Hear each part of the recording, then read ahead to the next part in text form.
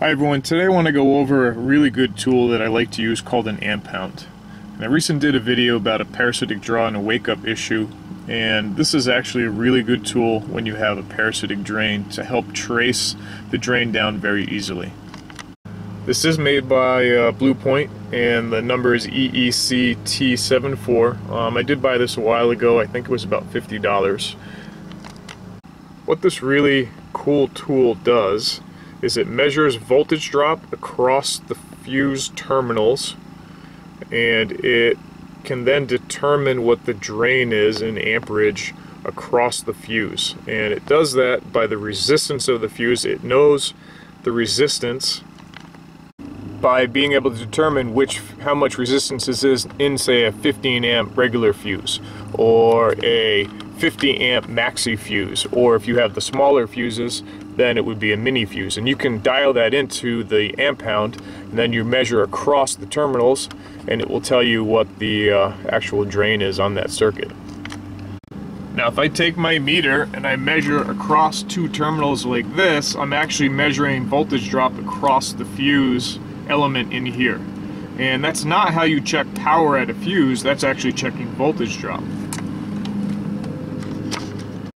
When you're measuring a fuse this way, you should see zero volts. That's because you're measuring voltage drop once again. If you actually see 12 volts, that means that the fuse is open. So you have to be careful. Some people make that mistake. So if this fuse was open and you measured across the two terminals with it plugged in on the end, you would see 12 volts if this fuse was bad. If the fuse is good, you actually see zero volts when you check it across the two terminals right here and right here. Okay, to actually check power, you'd want to go from one end of the terminal to a good ground. I'll show you that real quick.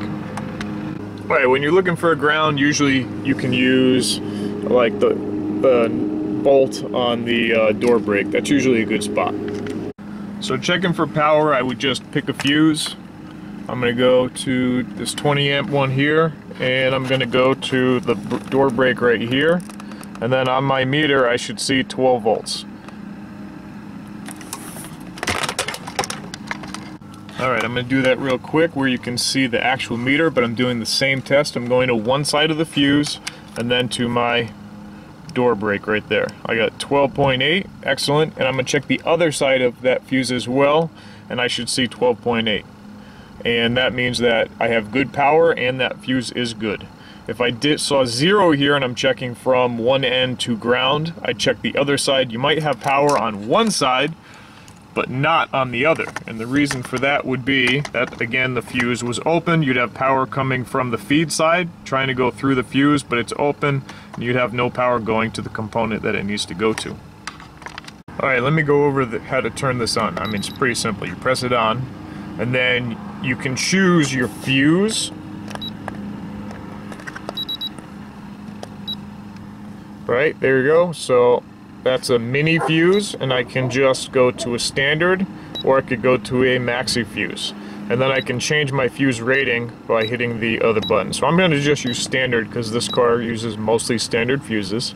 And I'm going to just say a I don't know, it could be a 20 amp fuse that I'm going to check. So I would say 20 amp and then I'd press and hold and then it locks it in and now I would check voltage drop across the fuse. So by voltage drop, this is what I would be doing, going on the two ends of the fuse with it installed. Obviously there's no current flowing through this fuse, so my reading is zero. And it beeps, you know, as it's doing its reading. And that's basically what you would do with the fuse installed in the glove box. Alright, so I just checked a 5 amp fuse that I just reinstalled. This is the one I had out, and it does go for the instrument cluster. It is the component that is actually waking up in this car. And when I plugged it in, it woke up the instrument cluster, and hence there is voltage going through that fuse current, and I get a 0.11. So that means I have 110 milliamp draw on that fuse as soon as I plugged it in. So what's great about this tool is now that you know you have a drain and you've set up for parasitic draw test, you can actually just go across each one of these fuses one at a time and find your drain. Now there could be a stacked drain also. You could have 110 milliamps on one fuse and 300 milliamps on another fuse. And then, you know, you'd end up with 400 or so milliamps on your actual drain. So it is good to check them all. It might be a little time consuming, but it is worth it to usually I change it to all fives and then I do all the fives and then I do all the seven and a halves and then I do all the tens and and 20s and so on. It just makes it a little bit easier that way you're not playing with the the tool over and over again.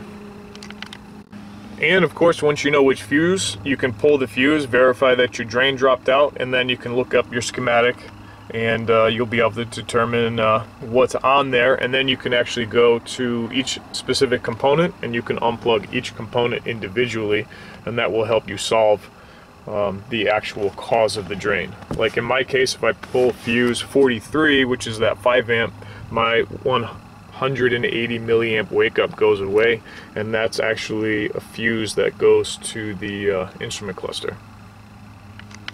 Well, I hope you found this video helpful. If you have any questions, please uh, put a comment in the comments box and I'll try to get back to you. And my channel only grows by people subscribing and uh, helping people out there. So if you have a problem with the car, let me know and I'll try to give you a hand to figure it out.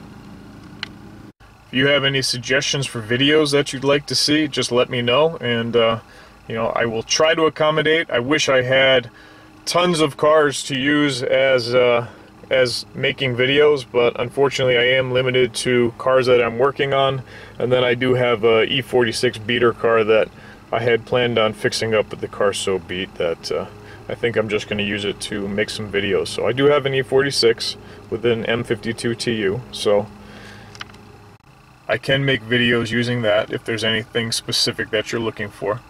Uh, just let me know. Thanks for watching. Likes and positive comments are appreciated, and please remember to hit the subscribe button.